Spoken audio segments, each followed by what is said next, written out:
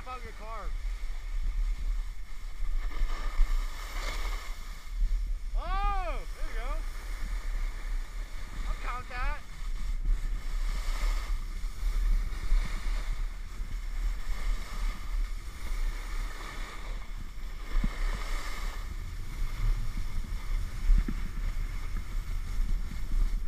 i think you went in the wrong direction though.